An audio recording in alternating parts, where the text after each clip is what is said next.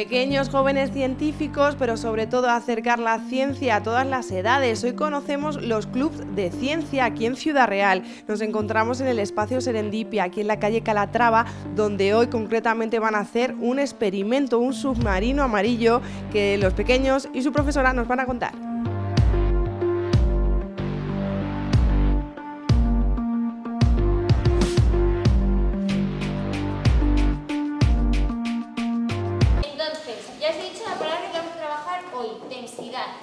¿Vale? Alguien me ha dicho que le sonaba, pero no he visto quién me ha dicho que le sonaba. Yo, Candela. ¿Candela ha dicho que le sonaba? No, Alejandro. ¿Qué te suena de la densidad? Pues que la vi el año pasado. La viste el año pasado, pero ¿te acuerdas de qué era o no? Pues era como una especie, pues, eh, eh, que no somos planos.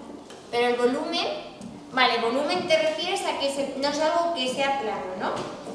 Como por ejemplo, esa pared tiene lados planos, pero tiene volumen. Vale. El volumen, ¿vale? Es el espacio que yo ocupo. Entonces, donde yo estoy metida, este, lo que yo soy, es mi volumen, porque es mi espacio.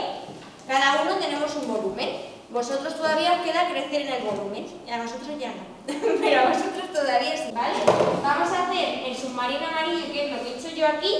¿vale? Pues se le llama submarino, porque se queda como un submarino en lugar de salir a la superficie, se queda ahí metida entre el agua y el alcohol. ¿Vale?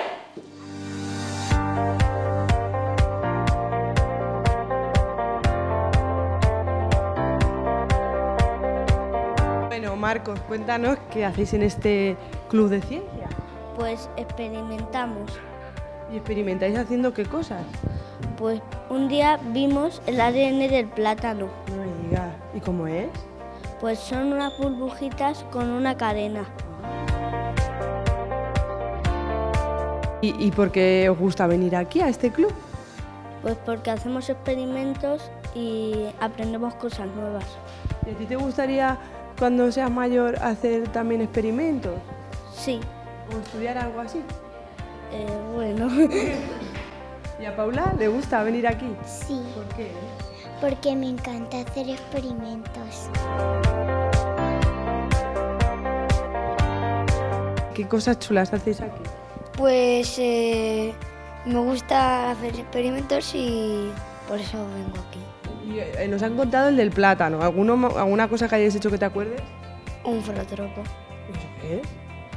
Pues un, un círculo donde hay dibujos, gira muy rápido y hace como si los dibujos estuvieran en movimiento.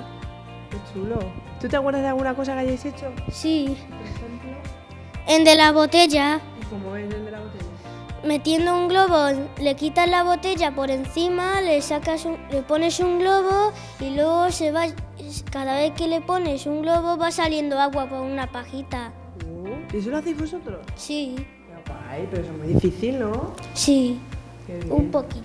¿Y a ti qué es lo que te gusta? A mí me gusta hacer el experimento que tú tenías una botella, lo llenabas de papel aluminio, cogías un globo, me lo rasqué en el pelo y se movían. Eso era como energía... Electricidad estática. Bien, qué guay. O sea, que lo pasáis muy bien aquí. Sí, sí, sí. Qué bien. Bueno, pues vamos a ver qué hacéis, ¿vale?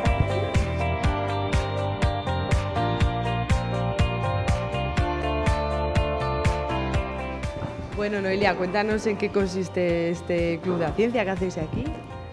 siempre hacemos experimentos, trabajamos con la ciencia a través de la experimentación para que aprendan conceptos que a lo mejor parecen muy complicados y a ellos se les hace mucho más fácil a través de que trabajan con ellos, experimentan y se, se lo pasan bien, que es a lo que vienen aquí.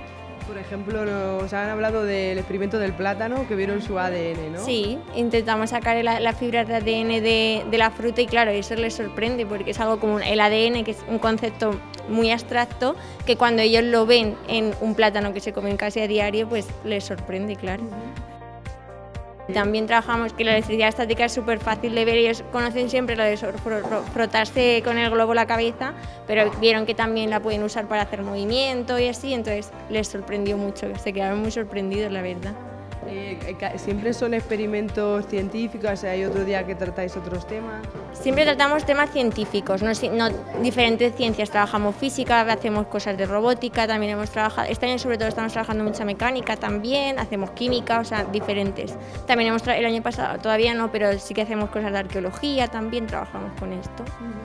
Y esto de alguna forma para ellos es un juego, ¿no? Sí, vienen a pasárselo bien, a tener una hora que están entretenidos y bueno, también es nuestro trabajo, ¿no? Que se lo pasen bien y que se vayan contentos. ¿Y qué, te suelen decir o qué te llama la atención después de cada cosa que te digan algo que te, que te haga gracia o no sé? ¿O qué se despierta en ellos? Yo creo que los veo que se van con ilusión, que vienen contentos, que vienen y dejan a los padres y el padre, bueno, dime adiós, no sé qué, y no quieren ni decir adiós. Esos que, esos que se quedan tranquilos, porque cuando vienen obligados y les van empujando es que no, no, no vienen muy contentos. Y eso yo creo que, que, es lo que más te llena a ti como profesor. Muy bien. ¿Y hoy cuéntanos qué vais a hacer? Hoy vamos a hacer un experimento que se llama el submarino amarillo, que es un experimento clásico de densidad y bueno, se trabaja con la densidad del alcohol y el agua y el, y el aceite, a ver, si, a ver si nos sale bien.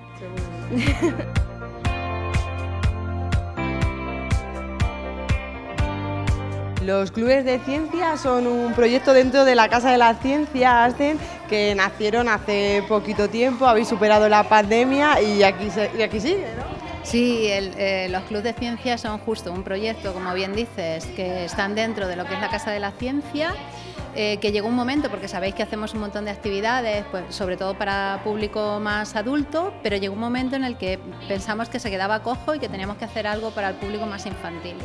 Eh, entonces, bueno, pues cogiendo muchas ideas, de, sobre todo bueno, pues de, museos como el de Granada, que, pues, que es muy potente y tiene muchísimas cosas, se nos ocurrió eh, organizar los clubs donde los niños, pues a partir de 5 años, se reúnen una vez a la semana durante una hora pues para divertirse con la ciencia. El objetivo principal es intentar acercar la ciencia a ellos de forma muy divertida. ¿vale? O sea, estudian ciencia, pero siempre jugando, experimentando.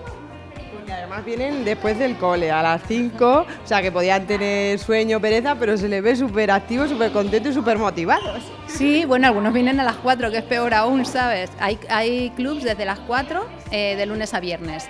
Siempre están agrupados por edades y es cierto que raro es el niño que empieza en octubre y que no sigue hasta junio, porque vienen, como te decía Noelia, vienen súper contentos, vienen muy motivados y se lo pasan muy bien, que al final eso es el objetivo, que vean que la ciencia no es aburrida, que se pueden divertir con ella forma también se pueden despertar vocaciones, ¿no? O por lo menos conocer este sector que a veces en los colegios no se puede llegar a, tantos experimentos. Claro, es un objetivo un poco más ambicioso, pero efectivamente eh, niños que no se acercan a la ciencia porque creen que al final eh, pues puede ser muy difícil o muy árida eh, si ven la parte divertida, pues puede que consigamos alguna vocación científica, efectivamente. Desde casa habrá alguna familia que diga, oye, pues a mí igual le interesa a mi hijo, a mi hermano, a mi sobrino, eh, dime edades, eh, ¿hay algún grupo abierto? Sí, hay, hay, hueco aún porque claro, pues la semana es muy larga. Eh, es verdad que hay grupos que ya están llenos. Cogemos niños a partir de 5 años. El primer año cogimos de 4, pero vimos que bueno, que quizás es mejor empezar a partir de 5. Luego no hay límite de edad. Sí que es verdad que los chicos nos aguantan hasta los 14, 15 que creo que bueno, pues ya es una etapa más difícil, los requerimientos académicos son más complejos y se empiezan a descolgar de todo tipo de actividad que no tenga que ver con, con, el instituto, ¿no? Pero sí, tenemos chavales hasta 14, 15 años. Pues aquí vemos que hay ciencia para todos. Sí, claro, y se puede apuntar quien sea en el momento que sea. Estos niños empiezan en octubre, pero hay gente que se reengancha en enero porque no se ha enterado antes y se reengancha en un club más o menos de su edad y bueno, pues ya está hasta junio. ¿Y son horarios a las 4 y a las 5? A las 4, a las 5 y a las 6.